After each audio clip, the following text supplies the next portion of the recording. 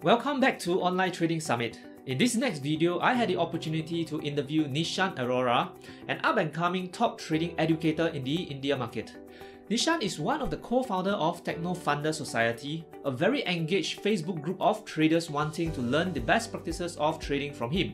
In my interview with Nishant, we discussed some of the key principles behind trading best practices and the issues that hinder most traders from becoming successful. He also shared some ideas on how traders can overcome their issues to become a more profitable and proficient trader. So let's head in and listen to our conversation.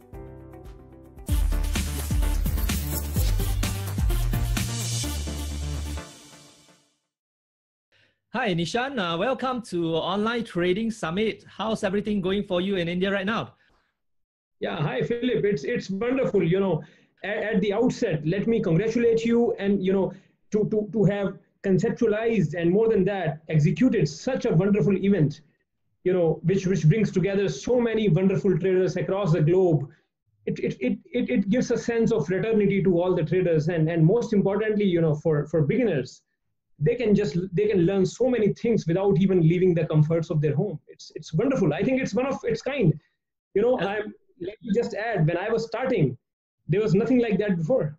Yeah, i, I hope you could have you could have started this 10 years 11 years ago when i was starting yeah, yeah, yeah. I think partly it's also because of the technology improvements. That's why we are able to do things like this across yeah. the an, entire world. And, and, and really, thank you so much for agreeing to come on board uh, this summit as one of the speaker to share your experience. So um, my pleasure, my pleasure.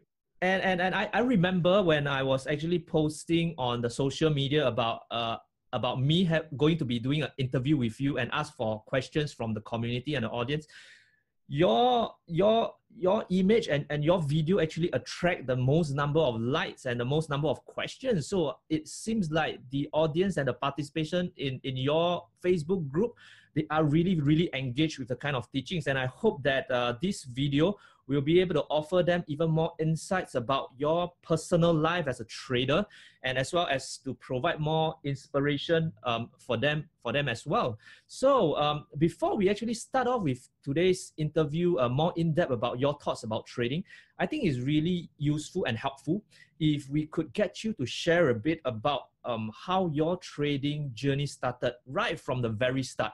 So would you mind like sharing and, and, and diving a bit in more about uh, when was the first time that you actually got in touch with the like financial markets? How long ago was that, and and how was that experience like for you?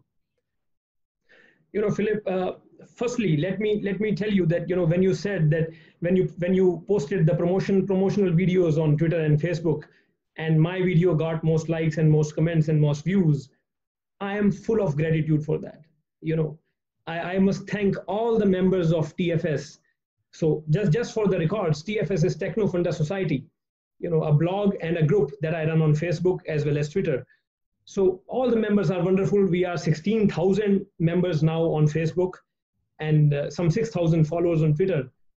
And so much love you know has been given to me by by the fraternity by the members that i just can't explain in words here. So let me let me start by that. Okay now now coming on to my my journey. Um, you know if you if, if i start from the very beginning. So i i, I come from a very uh, middle class family. When i say middle class my father was uh, uh, an accountant in a private company. And my mother ran a school okay? And it's a small school. It's it's not that big school but it's a small school. And there are some four five hundred students that she manages so i come from that that uh, background. And having said that since my mother has been running a school she made sure that i read a lot. You know she never went she she, she never wanted to feel embarrassed that the, the son of a of a school teacher you know academics should be very very strong. So uh, so she always you know that's that's my biggest inspiration. She always encouraged me to read books read more and more about everything. And and that's where the seed was planted now going forward uh, when i went to college uh, I, I, did a, I did computer engineering uh, as my graduation. Though i don't use anything about that in my life i don't even know why i did that you know you do things when you're young. Uh, post that i did my mba in marketing. And uh, I was uh, I was recruited as in, in, campus placement in a in a multinational company as a sales executive. But you see, uh, I, I I was always uh, you know a bit of a I, I always had a type A personality.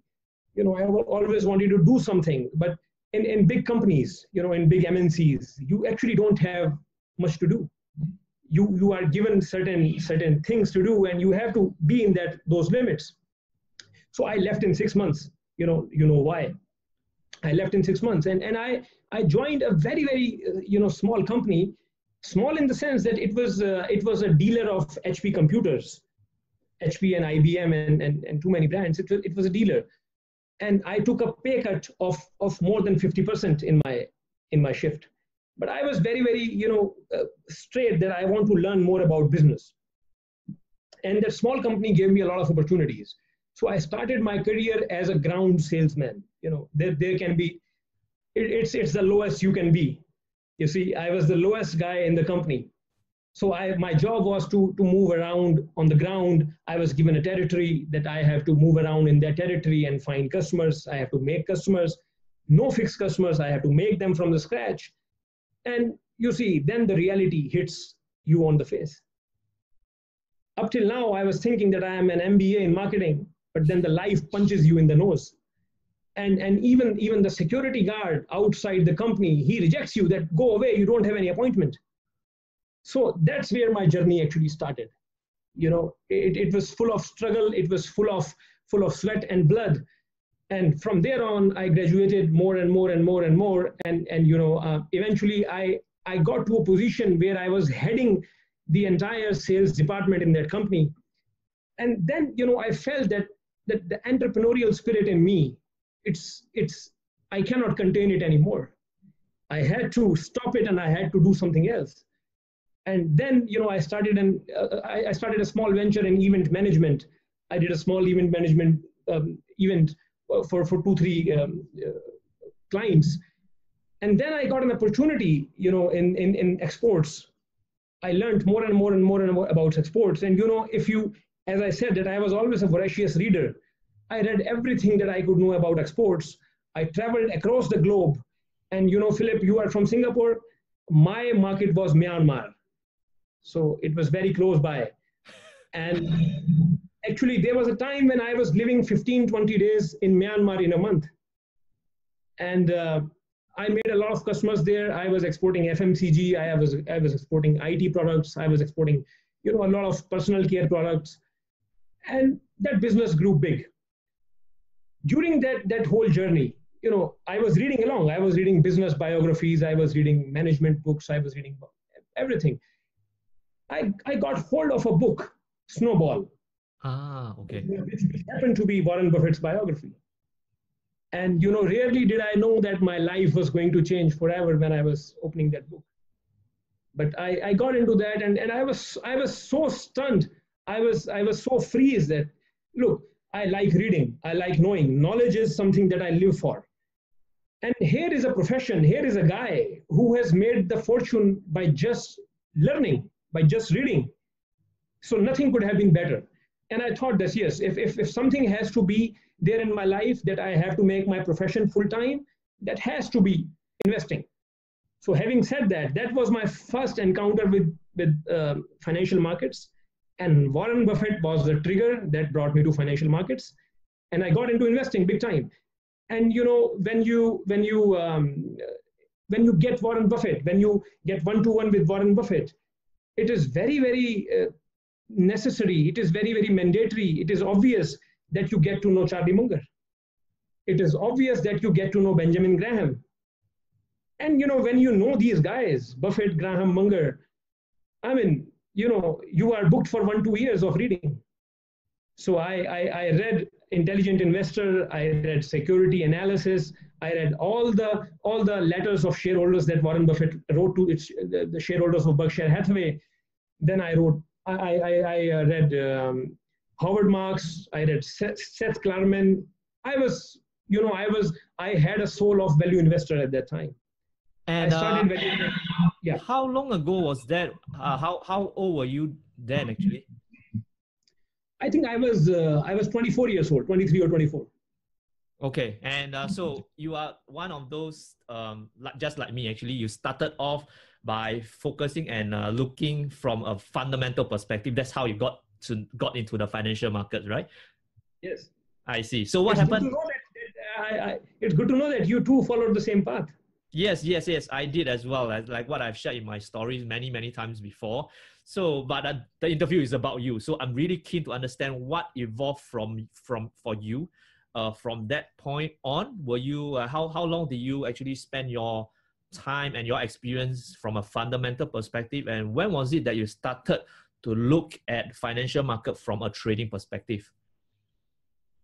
Okay, so you know, as I told you that I was already managing a couple of businesses. I'm sorry, I was running an event management company. I was running an exports company. And i was pretty settled in life you know if if, if that's what you call. I was settled in life. So i was i was uh, doing business firsthand. I knew a lot of industries. I was aware about it i was aware, aware about fmcg i was aware about services. So obviously investing in fundamental analysis made most sense to me and i did a lot of fundamental investing and i and i i, I won't be there, there is not uh, there's nothing to say i was uh, i had my first-hand success in, fund, in fundamental investing. In fact, a lot of a big, big success came from, from that region. But you know, down the line, I, I started feeling that there is a big contrast between me and Buffett. And that contrast was that, you know, Buffett, when he started, when he started, he started with one lakh five thousand dollars. You know, it's a it's a it's a big amount. He started with that and he started controlling, taking controlling stakes in the companies. So, and, and there was a big gap. You know, fundamental investing, for those who don't know, it's about learning about a business, about its financials, about its assets, earnings, debt, its growth prospect, uh, prospects, and coming up with a value of a company. That okay, this is this is how how a company is how much a company is worth, and then investing if if the market is offering you the company at a margin of safety, right? So but then okay it was all right with me. I was i was buying companies which were trading at a big margin of safety from the intrinsic value but i had no say over how to run the company. You know there have been a lot of companies where i felt that company is undervalued by a big big margin right? And i knew exactly that what to do to unlock that that value but i can do nothing. Warren buffett on the other hand he could do everything. You know he was the biggest stakeholder in that company. He could sit with the promoter he can he could sit with the board and he could dictate how the company should be run. I cannot do that.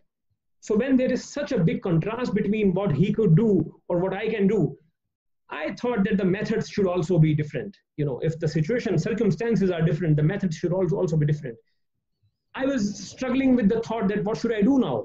You know it's not that I was not making money in investing. I was making big money. I'm still into investing big time. But I could do nothing. I could just put money in, in an undervalued company and sit, wait. I could do nothing. Then, you know, okay, uh, before I before I tell you that how I entered into trading, I just tell you that, you know, when you become a fundamental investor, you start uh, you know perceiving trading as something as something as a bad thing most of the investors they perceive trading as gambling. If you read any fundamental investor any book on fundamental investing they don't show trading in the good light. So do you start off have uh, uh, having a trading in a bad light in, in the way you look at trading initially as well? Yes yes so absolutely. I i thought that technical analysis is is nothing more than tea leaf reading.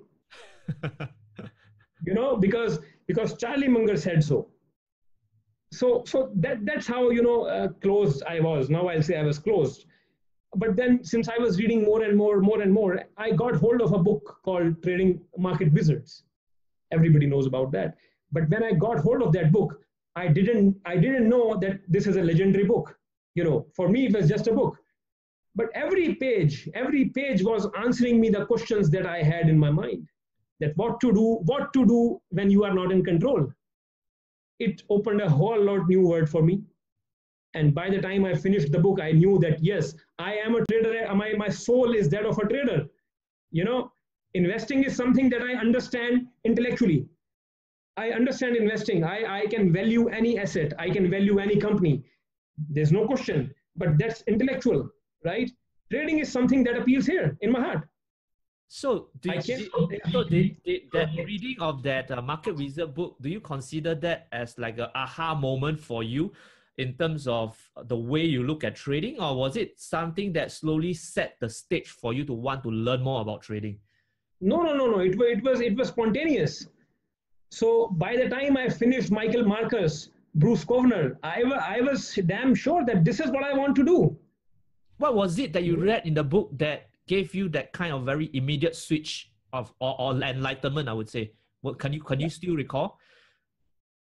Being in being in control of your activities being in control of of your of your losses of your profits you know being in control is the big thing that's that's completely lacking in investing okay in investing so, I i'm not in control all right so what happens after that after you you you read that book you get that aha moment that oh trading is something i should really focus on and what do you do? What what kind of actions do you take thereafter? So okay so so i had a i had a pretty good corpus that i had made myself from my business and my investing. I i took a i took a part of it and i opened a separate account. You know i think i think that's the best decision that i ever took in my life. Um, I, I didn't know that it's going to be very very fruitful down the line but i always kept my investing and trading activities completely separate right so my trading account is my trading account demat account it's separate for for both the activities right so when I learned about trading, when I learned market wizards, when I read market wizards, uh, obviously you want to know more about technical analysis. And, and I went down the same path. Then came uh, authors like Edwards and Magee, John Murphy, right, Schabacker, Wyckoff, Bulkowski. I read everything that I could do. I, I, I just, I'm a big reader. I read everything that I could read. But you know, there was something still missing missing was because you know it's it's it's like a, uh, you feel that market is not a not a laboratory it's not a scientific laboratory whereas these guys these technical analysts they were portraying market as a as a laboratory and and it's like you are a scientist and market is a laboratory i felt a bit disconnect you know because i always had an intuition that when i read michael marcus when i read bruce kovner they were more of artistic traders you know they were artists they were not scientists so I, I learned everything about technical analysis that I could. I, I, I read R.N. Elliott, I read W.D. Gann, everything. But something was missing. And you know, only one guy filled that gap. And that guy was Mark Douglas. Mm. Douglas changed my life upside down. He gave me answers to everything that I wanted to know. And that was the, the, the second aha moment right? Ah, okay. actually put me on the path that I am on. And and thanks to thanks to Douglas, you know, may God bless his soul. Thanks to Douglas that I could I, I am in a position where I am I am mentoring a lot many guys. You know, if I talk of my I'm I'm just deviating from the path a bit, but you know, I, I realized that, that the path I took for trading, you know, I started from learning analysis and, and, and all that I felt that every every beginner goes on the same path. But but they are not aware of that trading is not analysis. You know, trading is not just about technical analysis is a small part of trading. But I felt that most of the beginners feel that technical analysis is trading. So I wanted to uh, sort of you know destroy that cloud of confusion you know from traders' life, and I opened Techno Funda Society I see. And so, yeah. So when you when you got that second aha moment, what was that specifically about? Could you elaborate more on, on that? What was it that you noticed sure. that helped you clear that question mark in your mind about technical analysis and trading and what separates them or what binds them together? What was that that second aha moment? Okay. Uh, so you know, if, if I talk from a beginner's perspective, a beginner, you know, when he learns analysis, when he learns about trend lines, moving averages, Fibonacci retracements, and, and all that, he sort of uh, makes a view, makes an opinion that markets are predictable. That, you know, I can predict the market where it is going to go tomorrow. But it, it does not work. You know, you have wrong expectations. Mark Douglas told me that you don't have to predict anything to make money in the market. Right? That was an aha moment that you don't have to predict because you cannot predict. There are countless variables in the market that you cannot know. Chart, a chart is just showing you a collection of people. It's, it's, it's a collection of bulls and bears and, and undecided participants which are moving the price, right? But, but you know, when I was going too much into analysis, I was feeling a disconnect. I, I'll just, I'll just, uh, I would like to explain this in a, in a, in a more uh, detail, detailed format. You see, when a trader starts trading, trading is the only thing where you can you can succeed without knowing anything, right? If if if you are if you have zero knowledge about archery, about or let's say if you have zero knowledge about shooting, how much is the chance that you can hit a bullseye? Zero. If you have zero knowledge about brain surgery, how much is the chance that you can do a successful surgery? Zero. If you have zero knowledge about law, how much is the chance that you can try a, a case in the court of law and win? Zero. But if you have zero knowledge of trading, how much is the chance that you put a trade and you win? 50%. You see, 50%. That's a big illusion. So every beginner who comes in the market he is bound to suffer from this illusion. Trading is most difficult because it looks most easy. So you can win without knowing anything. And you know, when you, I always tell my students that the that the worst thing that can happen to you is that your first trade is a winning trade. It's the worst thing. So you you you unconsciously get into a zone, into a winning mindset that okay, nothing, it takes nothing to be a winner and you bet big and you bet big. And and if you if you have a streak of winning trades which is pretty much possible for any beginner you know you are in for a big big destruction of mindset. When the first loss comes so you are obviously you you have to have that loss. When the first losing trade comes you think that market has caused me this loss. You know you don't think that it is you who is actually doing things. You blame market right from your childhood you have been blaming others for everything that you didn't get. You know my parents took away that toy from me.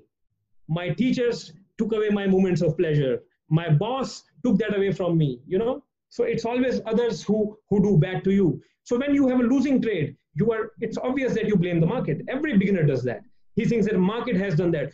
So many times we have heard the phrase that oh i lost money because markets are choppy it's such a pathetic statement, you know, but you go through that.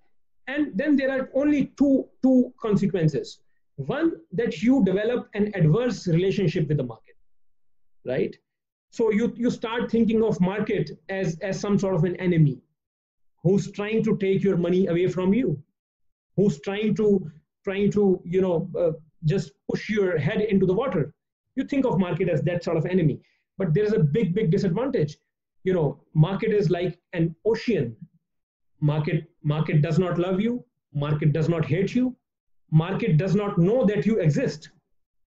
So you know there are there as they say there is there is no beginning there is no end. It begins when you put a trade. It ends when you exit.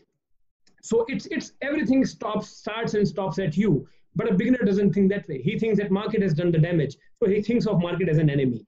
But when you think of of some someone as enemy you can never be in sync with it. And and the biggest the, the only way that you can become a successful trader is that you get in sync with the flow of the markets. You know that you have no uh, prejudice you have no preconceived notions against the market. That's the only way. The second thing that a trader thinks is that you know the solution of every problem that i have is analysis. Mm. I have lost because I because I don't know much about markets. This is this is a big illusion. And and you know Mark Douglas rightly said it's a it's a black hole of analysis. So once you start into analysis mode, once you get into that, you never come out. You know, I, I tell every student of mine, when you start learning analysis, it's it's fine. You must learn something to, to start with. But you know, down the line, a trader forgets that why is he learning analysis? He is learning analysis so that he can become a trader. He forgets the trading part. He forgets that I wanted to become a trader. and you know he he gets too much into the academic side of it and he starts counting degrees and percents and and you know centimeters and inches of price movement it's, it's just like you know he becomes an analyst and we all we all know that the world is full of great analysts but they are not good traders.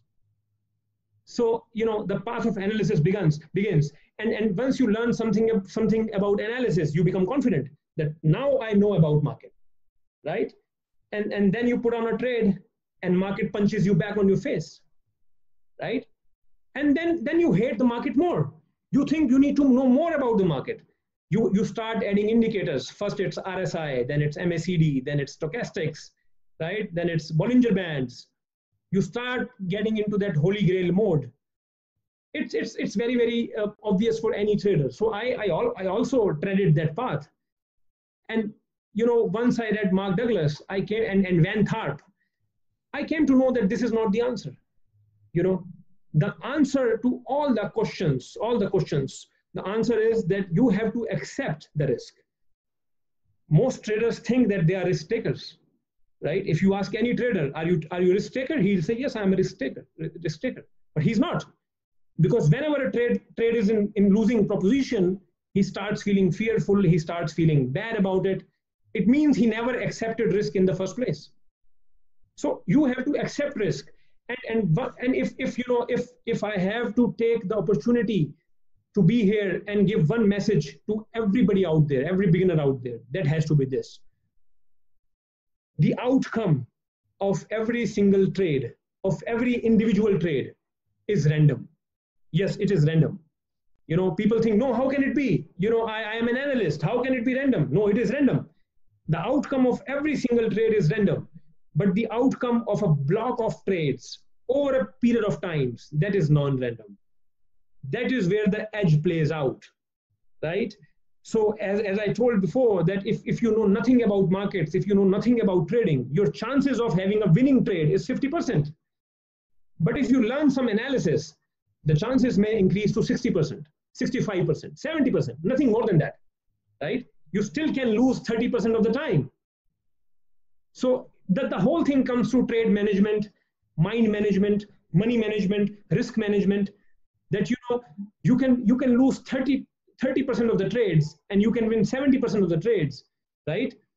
But you don't know the sequence of it. Your next 30 trades can be losers straight away. I see. So if you if you don't manage your money, you won't even live to see the day of profits right? So you can be completely bankrupt even if you have a have an expectancy of 70%.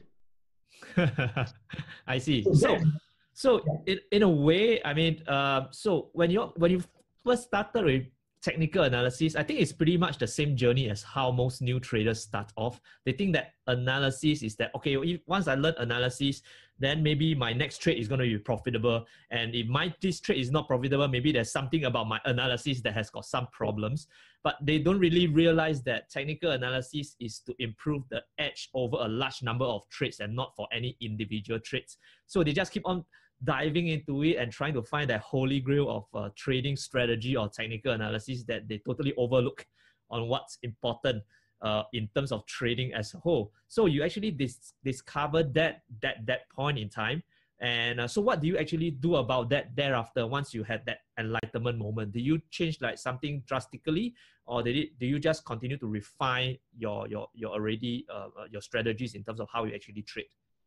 You know, it actually it actually took me around two years before I got this uh, movement. So two years uh, from from the time I started trading, for, for, for two good years, I was an analyst. I was, I was doing Elliott wave analysis. I was, you know, doing Gann circles and, and all that. Sorry. If, if you, you know, if you just trace back, I, I just uh, trace you through the history. If you trace back in early 70s, right? I'm just taking you through the journey of gurus. People love gurus, right? Everybody wants gurus. Alexander Elder said wonderfully that beginners walk with their umbilical cords in their hands so that they can fit it into a guru. So everybody wants a guru. In early 70s, there was a guy called Edson Gould. Now, Edson Gould, he, he developed an analysis technology, uh, analysis method called speed lines. So they were basically trend lines which actually um, took uh, into consideration the angle, the velocity of, of, of trend lines. It worked for three, four years, but then it stopped working, right? But Edson Gould, he, he didn't stop pushing the, that, that method over the market. Eventually, people stopped following him. Then came Robert Prechter. Everybody knows Robert Prechter. Robert Prechter was was he was he was uh, propagating Elliott Elliott waves, R. N. Elliott's work, and he was doing wonderfully well for a couple of years. In 1987, right, he first he first gave a sell signal, and then he said it's a buy, and it turned out so bad that he lost all his following, right? So W.D. Gann, I mean, he was he was never so popular when he was living that he became after his death. So I, I call them dead gurus, right? And if you if you if you just go through the interview of his son, his son his son was an analyst with a with a brokerage company in Boston. His son said that that my father couldn't couldn't provide for family through trading. It was it was through selling of courses and seminars that he could provide for the family. And he left one lakh dollar estate for the family to live upon. So everything adds up. You know, you you understand that yes, analysis is, is not the way. Analysis, if you go too deep into analysis, you become a seller. You know, it's too much analysis works only for one person, the seller, the salesman who's selling this, that analysis, not for trader. So now, what's as kind, said, what's the kind of a modern so-called guru that you are actually seeing is very common right now at this current point in time?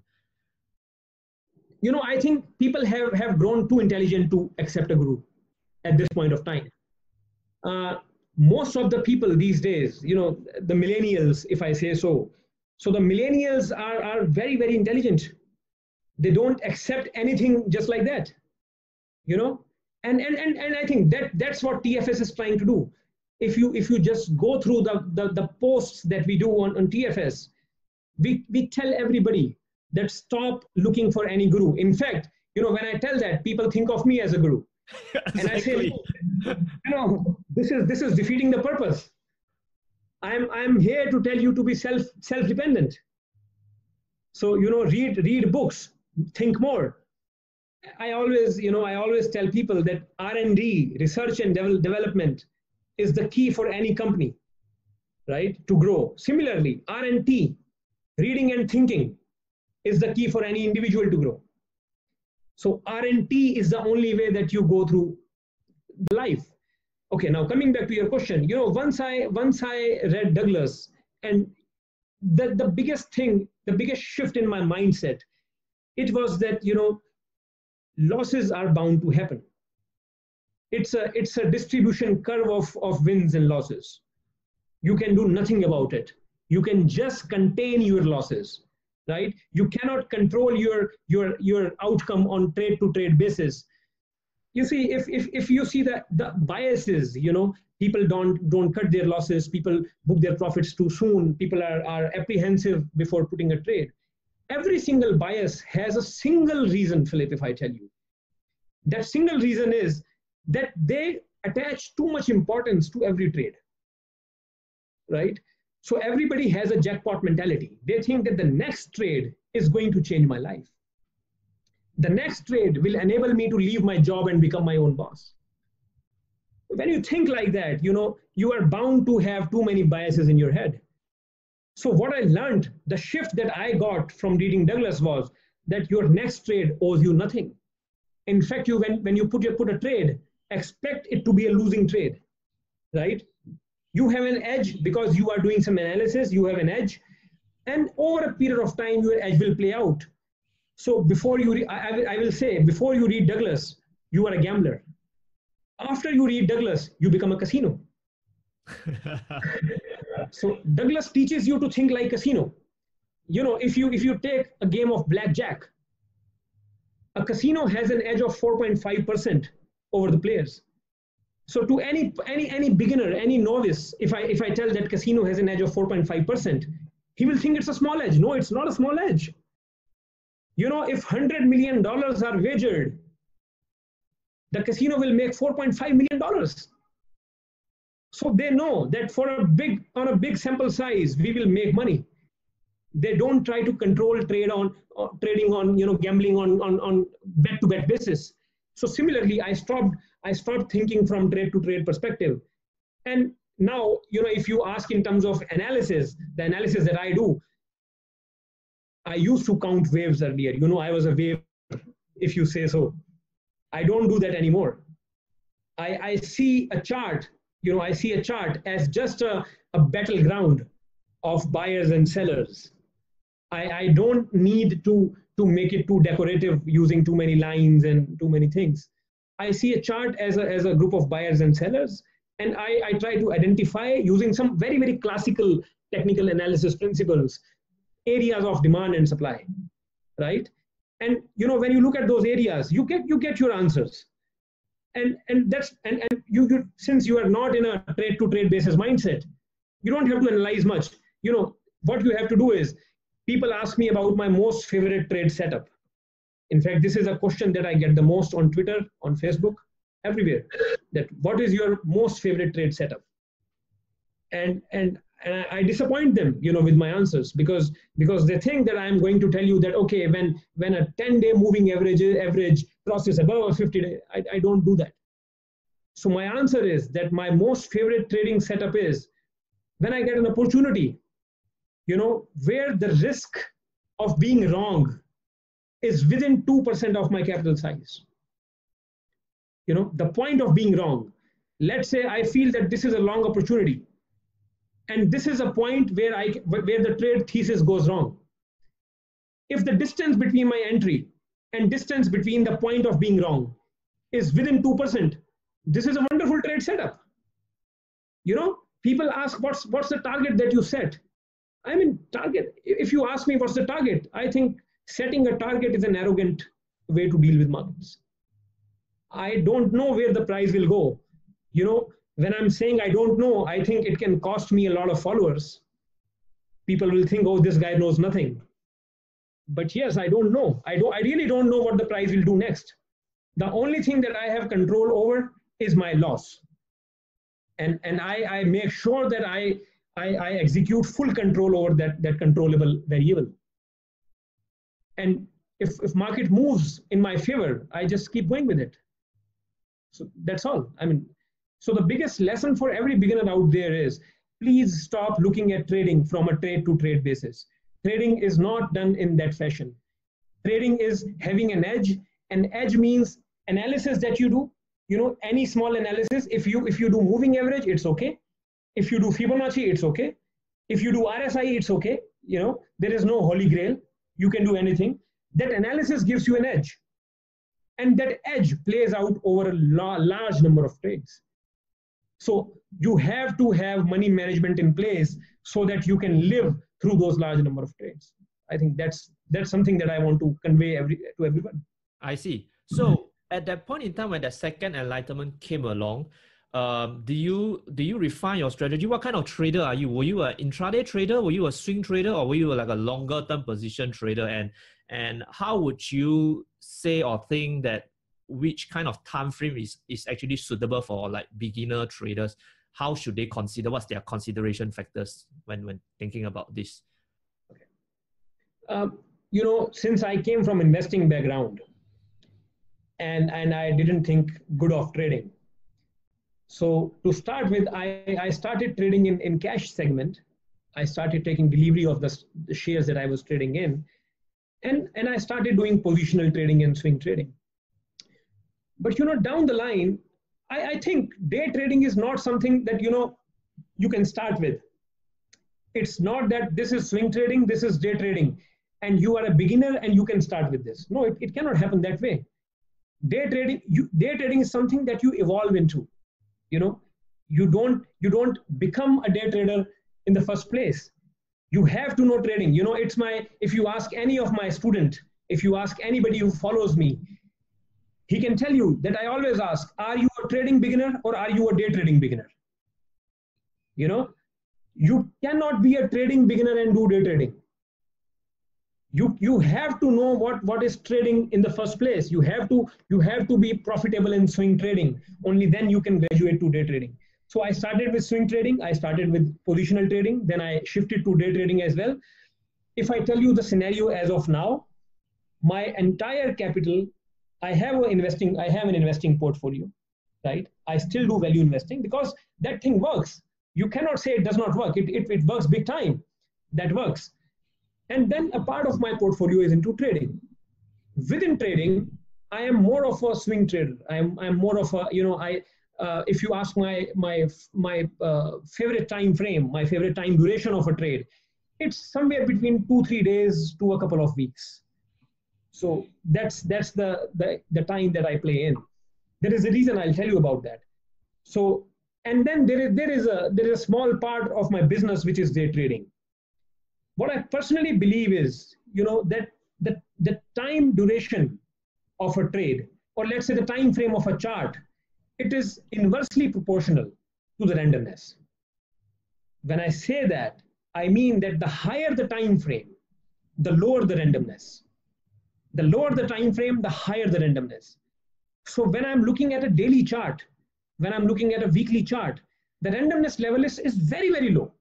You see, if you are if you are seeing a pattern, if you are seeing a head and shoulders, or if you are seeing a double bottom or a triangle, for that matter, anything on a daily chart or a weekly chart, it plays out in a much better and reliable way on a daily and weekly chart than it does on a five minute or a 10 minute chart, right? There is too much noise there. So that the time frame of the chart is inversely proportional to the randomness, right? And the profitability of the trader, the profitability of the trader is also inversely proportional to the randomness. The lower the randomness, the higher the profits, right? So, I mean, this, this is something that can, can confuse any beginner. So I just repeat, if, if any beginner might, might, might want to write it down, he can do that. The time frame of a, of a chart is inversely proportional to the randomness. The randomness of any stock, any price is inversely proportional to the profitability. Therefore, the time frame is directly proportional to the profitability. Hmm. You know? Okay, so, so you, you you mentioned that you were do, already doing pretty well doing like value investing. So what then is actually the motivation for you to want to spend additional time and effort to go into position trading, subsequently into swing trading and into intraday trading? Is that it gives me it gives me capital to, to invest. Okay, so what do you mean by it gives you capital to invest? Is is it because by going shorter term, it helps you to generate returns more quickly, and that's why you will have more cash flow to actually invest invest on a fundamental perspective. So what, what do you think is the, the pros or the, what attracts you to go shorter term then? You know, as, as I said, that when you invest, you are basically investing in the in the growth of the company, right? And you are not running the company. So you have no control over the time period that that you know the returns will generate over. I have some investment, some invest, investments which have worked out over a period of five years, six years, seven years. But how will I get my cash flow?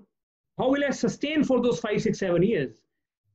Trading, when you when you put market in a chart format and you have different time frames to trade, right? You can control the time frame of your returns that gives you more control, more control over your cash flows. So I use trading for my cash flows, and I, I, I, you know, if you if you ask me for last two years, I have not increased the size of my my trading portfolio. It's it's sort of a linear portfolio. Mm. For, for six seven years, I was continuously increasing it, but now I have come at a point where I'm not adding anything. I'm not reinvesting my profits into trading. So my, my trading portfolio is at, at such a level which is generating returns which I'm comfortable with. Right? So I'm, I'm, yeah. So generally, how do you actually uh, actually in, in terms of percentage why how, how how do you set a certain percent how many percent do you like set for your value investing kind of portfolio how many percent for position swing trading or intraday trading so that i think that it gives a, a better perspective about how should the, everyone else think about uh, uh, managing their trading and investing from a portfolio perspective? You know, to, to start with, Philip, I, I think my answer is going to disappoint a lot of beginners. To start with, if, if you know, I have to tell any beginner that how should he start doing trading, no day trading. You know, a beginner should not day trade.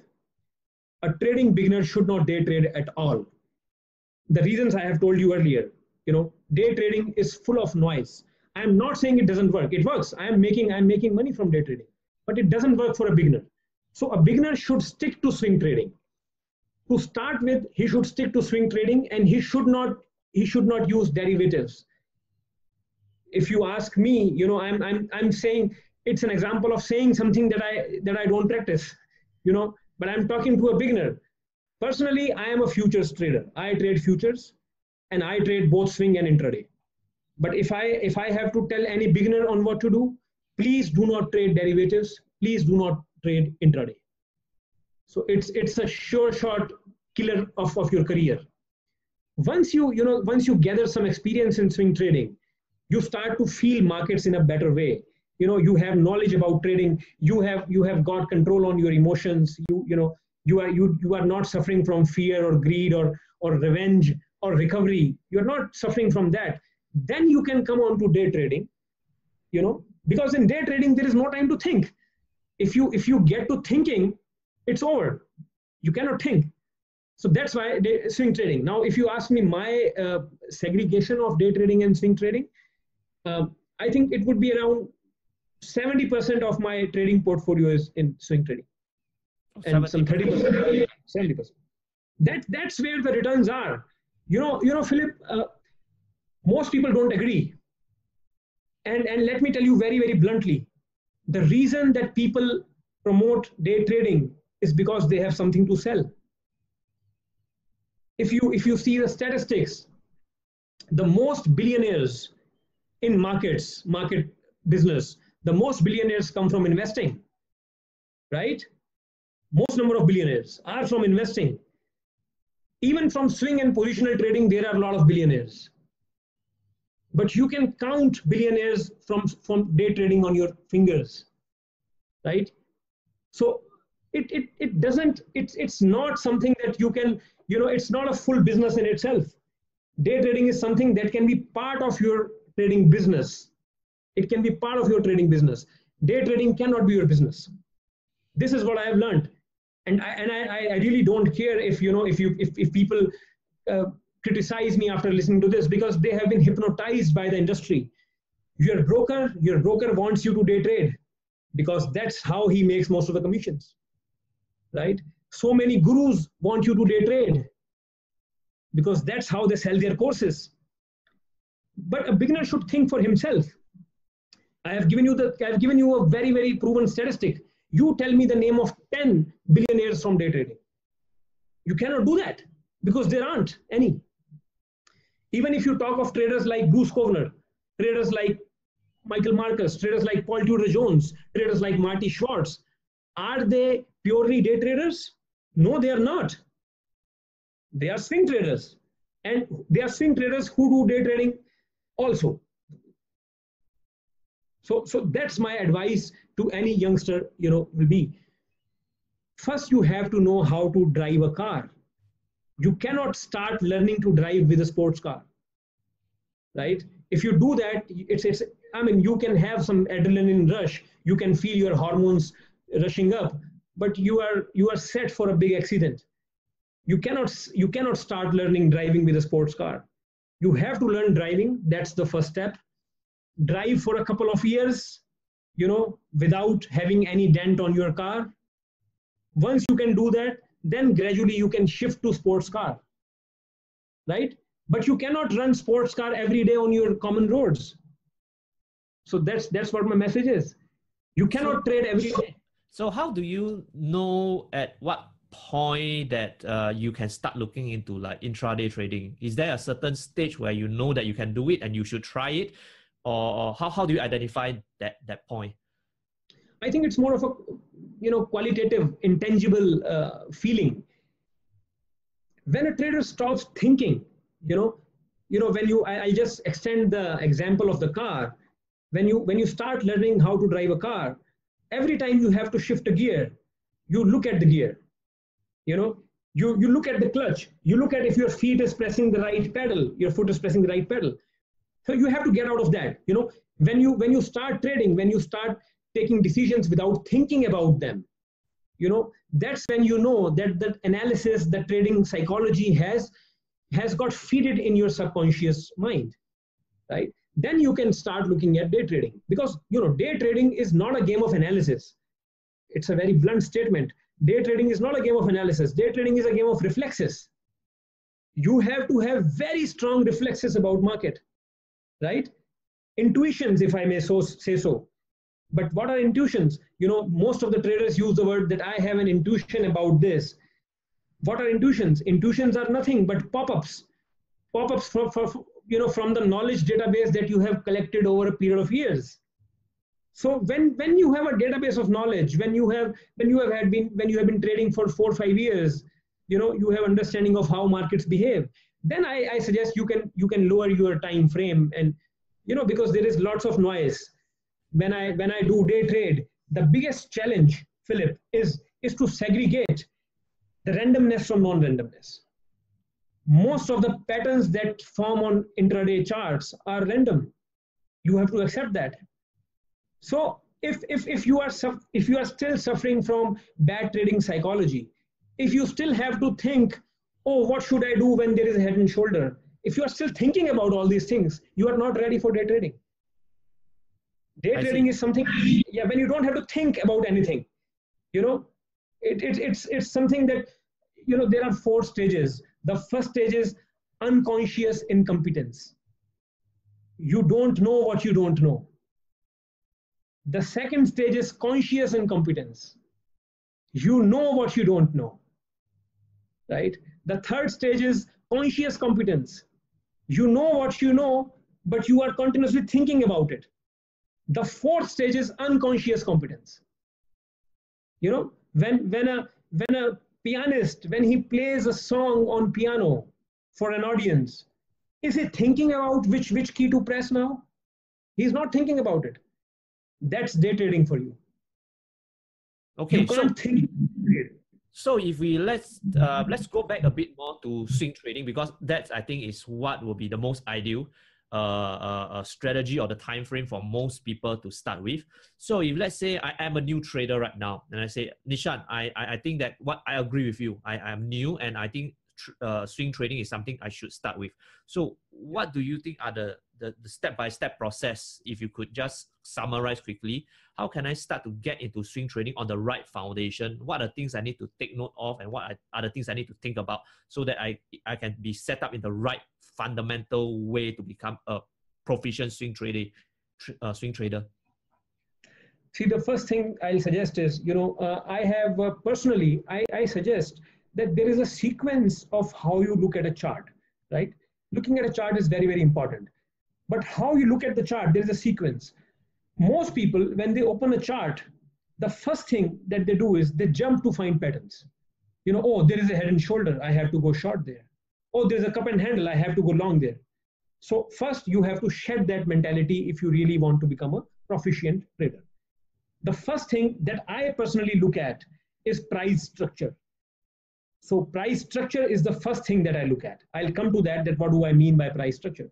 The second thing is price patterns, right? The third thing is individual candle patterns. The fourth thing is indicators, if, if any. But the irony is that most traders begin from the fourth and they never reach the first. So, you know, it's, it's like you are, you are missing a forest for trees. You are too busy looking at price patterns that you miss the big picture. So the first thing that I'll, I'll encourage everybody to learn, if anybody wants to become a swing trader, first try to understand the character of the price you know when i say character of a price you don't need any indicator for that. You don't need any oscillator for that. You just need a price structure and you have to understand you know that that okay is this stock stock more prone to be traded in ranges? Does it trend most of the time? Right? When it rises does it rise steeply? When it falls does it fall steeply? What happens what has happened over over the history when it falls steeply, does it form a range there or does it form a V bottom? You know, the reason I'm saying all this, that the, the big parties, the big hands in a company, in a stock, they rarely change, Philip, right? Same set of people are managing a stock for a long period of time. So when, when, when same set of people are managing a stock, you have to see, you have to, you know, there is no other way that you see common patterns all across the, I mean, we all, we all see charts. There are certain stocks which tend to make big candles. There are certain stocks which tend to make small candles. So this is getting into the skin of the stock. You have to have get in the skin of the stock, the soul of the stock. Once you do that, then you look at the patterns, right? Then you look at the patterns. Patterns, I must say, they are not some isolated structure, you know, in vacuum. Patterns don't exist in vacuum. They exist as part of a structure. So that's why I, I, I focus more on the structure first. You see patterns, but every pattern can fail. That's, you know, I, when I when I read Bulkowski and Bulkowski encouraged me to measure everything in you know in percentages and and and inches. I think that's a you know it can help you if you are if you are doing a job in in, in an analysis company. You know, it won't help you much if you are a trader. So so you you learn patterns. Some very very basic patterns are enough. Then you get onto the price candle patterns. You see that okay most people you know if most i i talk to more than 100 beginners every day i think you also see that you are part of tfs you know you must be seeing that that how busy we are answering queries so most beginners what they do is they see okay this is a morning star now the price will rise this is not how it works right so first there is structure a big structure then there are patterns then there are candlesticks and then indicators if you need now, if this isn't complex already, add to it the interplay of time frames. You see, most beginners miss this picture. You have to understand. You see, uh, everybody asks everybody, oh, this is the chart, how should I enter? Where should I enter? Where should I exit? Everybody's time frame is different. Everybody's personality is different. Everybody's capital size is different, right? So and and and market exists in every time frame. There is a market there is a market in 5 minutes. There is a market going on in 10 minutes. There is a market going on on weekly. And and a stock can be in a wonderful uptrend on weekly and a stock can be in a pathetic downtrend on 5 minutes. So there is no point asking anybody what should i do nobody knows what you are looking at the same stock is making a different thing. I mean, a, a, flag, a flag on a five minute chart can be part of a triangle on daily chart. That triangle on a daily chart can be part of a big head and shoulder on weekly. So, you know, you have to keep your eyes open. That's, that's what I tell everybody. And that's my personal style of trading as well.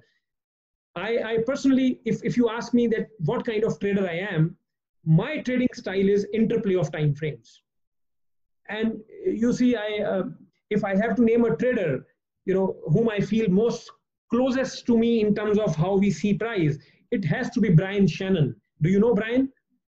Um, I heard about him before, but I've not really gone deep into uh, what he does, the way he trades, and stuff like that. Okay. So Brian, Brian Shannon is, is also advocate. He also advocates the philosophy of interplay of multiple time frames, right? And that's what I do you know, if, if, I, if I just have to tell you one of my, my strategy that how I look at it, let's say there is a, let me tell you another good thing, another small nugget of wisdom for, for beginners out there. Most people think that if, if they are day trading, right, if they are day trading on 10 minutes or 15 minutes or 30 minutes, they don't have anything to do with weekly charts. No, it's, it's not that. You have to see daily and weekly even if you are day trading. The reason is that, you know, when you day trade, you should know the levels, which are very, very important. So if, if I have a strong resistance on weekly chart at a price level, I have to be aware of it while I'm day trading.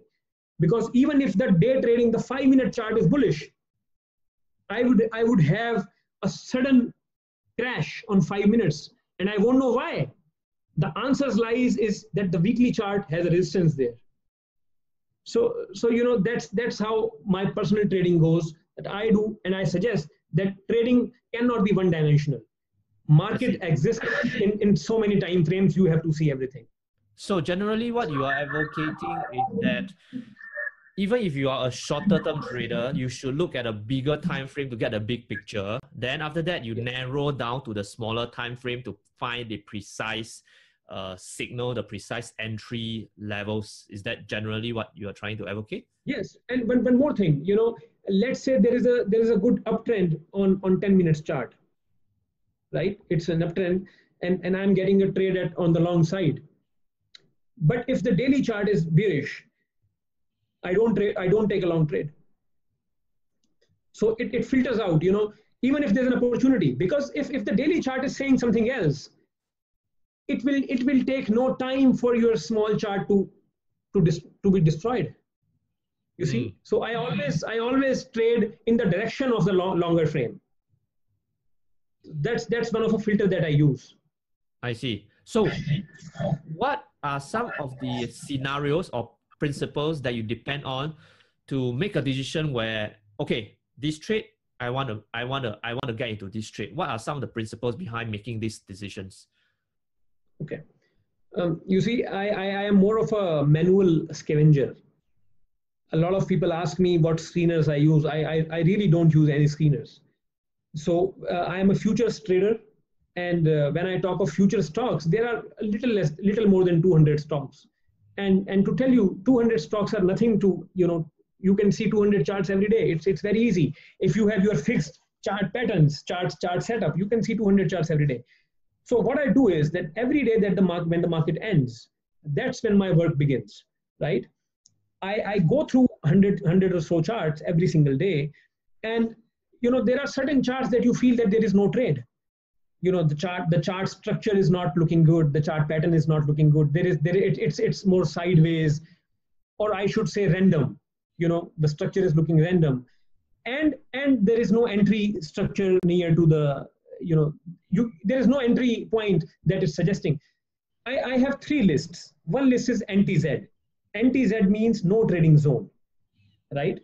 So i i put stocks in no trading zone every on everyday basis right then there, there are charts which are good charts. You know they're offering good uh, it's a good structure good pattern. And and i see that okay it's trending or it's you know it's in a range but it's a good structure. But i'm not getting a good entry. The price is is the price is not not favoring to take an entry right? So those are ttz tentative trading zone right? So one is no trading zone one is tentative trading zone. And then there are charts which, which look good in terms of structure and patterns, and where the price is also at a point where risk is least. That is the key point. You know, entry should be at a point where the risk should not be more than 2 3%. And when I say risk, I, I don't use money stops, right? It's not that I can only lose this much. Market does not know how much I have to lose. So my, my stops are all, always technical stops right? So on, on the longer, if I, if I have to go long, my stop has to be at a point where the chart tells that the longer long side thesis is, is finished. So there are stocks where I see that the chart pattern is good and I'm getting a technical stop within 2 3% of my capital. They are immediate trading zone. So end of the day, I, I have come up with three categories. One is trading zone, one is no trading zone, and one is tentative trading zone, right? Mm. Next, when the market starts, the tentative trading zone, they are my swing trade candidates, right? So I can take entry on in, in those stocks on a longer basis, longer frame basis. But to tell you the truth, I day trade only in those stocks, you know. But you, you know, as, as it goes, swing trading is more about momentum but day trading is more about volatility. So even if the chart is looking perfectly fine, you have got a good entry. If the stock doesn't move, there is no day trade. So what I do is that I take my, my immediate trading list and out of that list, those stocks, you know, which have gapped up or which have broken out of a range or where there's a volume spike or there is an open interest spike, they become my day trading candidates. So, so I hope beginners so, understand this. So yeah. your day trading uh, list of stock is actually from the same list as your swing trading stocks as well. Absolutely, same list which which which shows more volatility. I see.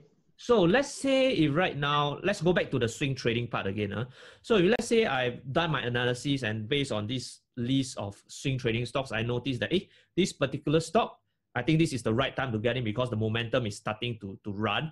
Okay, and I look from the chart, okay, uh, this is the level. If it, if, it, if, it, if, it, doesn't run and it comes back to this level, that is where my technical stop is. That shows that probably I'm wrong. That's where my technical stop is going to be. So I have my entry, I have my stop. What is the next step you will do thereafter? In like, do you actually start to size the trade and decide how many shares to buy, and how do you go around doing that? You know, uh, Philip, I, I practice something called fresh look strategy. Every time my my stock hits a stop, or every time I book profits, right? There are only two way to exit, right? One you exit in profits, one you exit in losses. So every time I get out of a position, I don't forget it, right? I look at the chart as if I am seeing it for the first time. There are the, the biggest mistake that people do is that they get attached to a name. So let's say you are trading Apple. They know that they are trading Apple. You know, they get attached with the name of Apple. And if they get stopped out, they know that they have got stopped out in Apple. That's a big bias. That's a big bias. So when I when I get stopped out, I immediately look at the chart again. If my thesis is wrong, it means there still is a trade. If there is momentum, if there is volatility.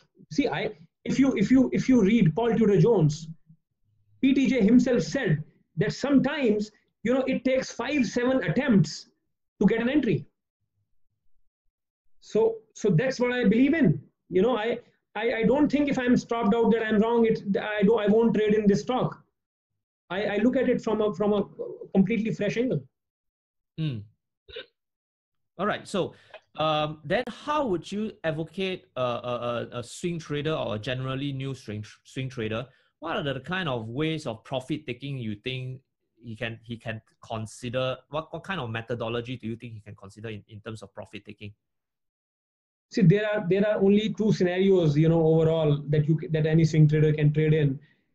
First thing I would like to say that you know markets are very very unstructured in its in, in its overall uh, structure. It's they are unstructured. So you have to be structured in your mindset. When you look at a chart, when you look at a chart, you have to be sure. You have to be sure about you know whether whether this is a trend trade or this is a range trade if this is a trend trade, is it a trend continuation trade or is it a trend reversal trade? If this is a range trade, is it a support resistance respect respecting the support trade or is it a support and resistance breakout trade? So I, I, I, personally, you know, when I take a trade, I know the category of the trade that I'm taking, right? So when I'm looking at a chart, if I'm if I'm trading a range, I know what I'm trading. Am I tra trading a support resistance trade or am I trading a breakout trade, right? And there are different sets of probabilities, different sets, sets of money management principles and risk management principles associated with every single category. Mm. Right. So generally, when you get into a trade, do you have a profit target in mind, or do you like use trailing stop, or or?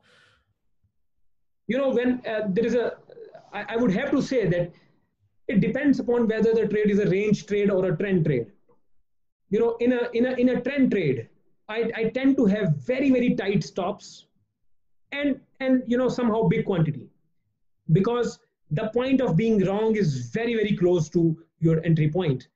However, in trend trades, you know, I, I keep my quantity little small and I give a lot of space to the trade to work to de develop. Now, talking about the, the targets, in terms of a range trade, you know, you don't have much say in targets. You have to get out you know, the moment you see something going wrong.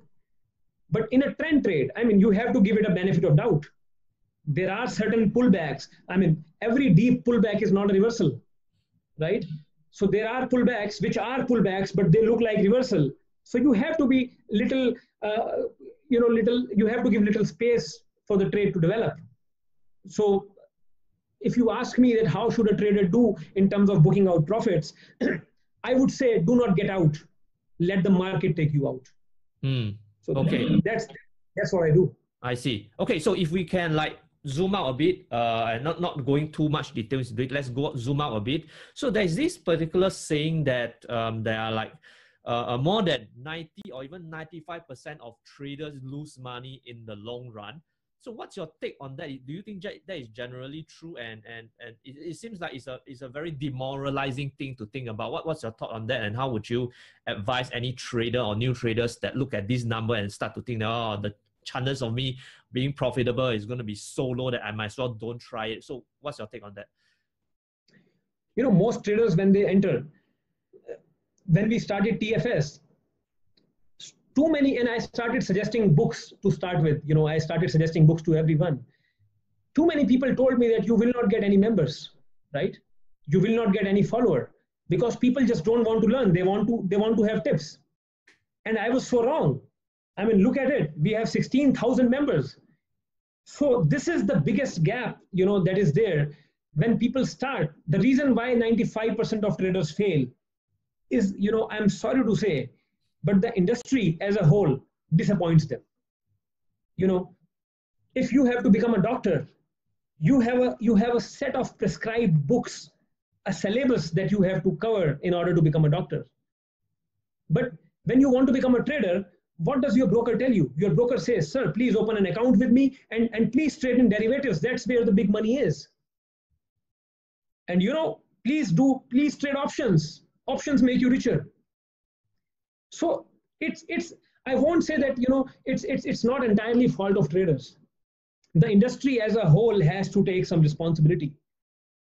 And, and that is why I started TFS you know I, I i i thought that the responsibility i have to take responsibility first if i if i want to preach about you know people should take responsibility. So 95% traders fail one because they have wrong expectations from the market right? Most people think that they can double their money like that. I mean i can tell you philip if if, if as a trader you are making 30% yearly on a cagr basis a big institutional trader, he will give his firstborn son to have returns like that. Right? But if I tell a beginner that, look, 30% profit is, is, is, you know, this is what you can earn, he will say, oh, just that? Just 30%? I thought it should be 100%. So, so this is what? First, wrong expectations. Second, they, they blame markets for, you know, for their uh, failures and, and success. Success they take credits for, but failures they blame markets. That is two. And third, you know, most of the people who come to trading, they are already in some professions. So let's say there is a doctor, or let's say there is a lawyer, and he comes to trading. Just think of the mindset. Here is a guy who passed college with good marks, right?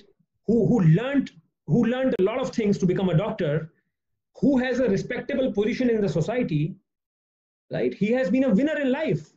Now, when he comes to trade, he expects the same from the, from the market. How can I lose? This is this is you know if you if you can't lose, you will lose. So this is this is the the first principle that is there. You have to accept losses. As I said earlier, that it's it's a trading is a game of large sample of trades. It's not trade to trade basis. That's one. Second, you should take full responsibility of trading. Third, you should not be expecting too much in terms of returns. If 25, 30% returns are, are not enough to run your household, then you have got small principal amount to start with in the first place. You know, most people focus on the R of the return equation. They don't focus on the on the principal P. They don't focus on the N number of years. So that that's I think eh, there's a big disconnect between what a trader wants from the market and what market is. It is a cutthroat business like anything. If you look at companies in the world, do they make more than 25, 30%? No, they don't do. I personally have some years where I make three digit returns, but making three digit returns is not, cannot be generalized, you see. It's more so of an outlier event that happens. Outlier, yeah. yeah. So, so, so so 95% traders lose money because they don't take responsibility of their outcomes, because they expect too much from trading, because they are undercapitalized. You know, this is a very, very, this is something that most people don't think about. They think that they can just bring $500 or even $1,000 or even $2,000 and they will convert it into 1 million. You know, because they read market wizards and, and they read that Richard Dennis converted $200 into a million, they think that they will be the next Richard Dennis. So this is this is not this is the wrong expectation to have. And most beginners, they they start with intraday. You know, this is something that I want to discourage among all the beginners. Intraday is not something that you start with. Intraday is something that you evolve into. You know, I started day trading after three years of trading. And I still don't day trade every day. Day trading is still a part of my business. And I meet, I talk to a lot of big traders, you know, internationally. And, and everyone, everyone has the same opinion. Day trading is part of their business. It's not their business. So if, if, if a beginner follows these things, one, follow the bigger time frame, right? Because randomness is lower. Two, do not day trade. Three, accept responsibility, complete responsibility. And fourth, accept the risk. Do not trade on trade to trade basis. I think if if if, uh, if any beginner, you know, truly accepts these four points, he will be he will already be, be in, in those five percent segment of winning traders. I see. All right, Nishant, I would really love to engage you and and have actually I have a lot more questions I wanted to ask you, but time is running short, and I suppose that we will definitely have opportunities to do more interviews so that I can get more about your thought process and translate them into something that is going to be useful for whoever is watching uh, the, the your interview video. So, but before we end off today's um, interview with you, is there any uh, last words you have for the summit participants, especially those that is um, starting off as a generally new and inexperienced trader? Any kind of um, advice or inspirational thing that you can share with them so that they can persist through the initial tough periods of trading and hopefully one day they will be able to see daylight sooner uh, uh, compared to just simply giving up like what most of the 95% of the traders does. Do you have any like last words for the, for the summit participants? Yes. So the first thing is that, you know, read a lot. You have to read a lot and you have to think a lot. Merely reading will not help. Like, you know, Philip, I, I just like to take this opportunity to say, a, to tell a small analogy. Most trainers, you know, they give a wrong analogy. They say that trading is like swimming and you cannot learn swimming by reading. I say this is a pathetic analogy. Trading is like brain surgery. Of course, you need practical exposure, but you need to read a lot of books before that, right?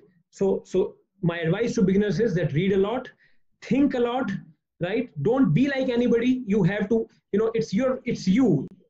So you have to have your own trading systems. You have to have, you know yourself better. So that's one. Second is please switch off your televisions, right? If you want to become a trader, you would want to be away from that noise. Do not get caught in traps of the moment you hear anybody using words like magic strategy, like zero, zero failure method, just run away. You know, it's, it's not true. Analysis is not the answer. Manage your risks. Profits will take care of themselves and and last but not the least it's it's you know beginners think in terms of profits profit uh, in terms of winning and losing. Whereas professionals they think in terms of profits and losses.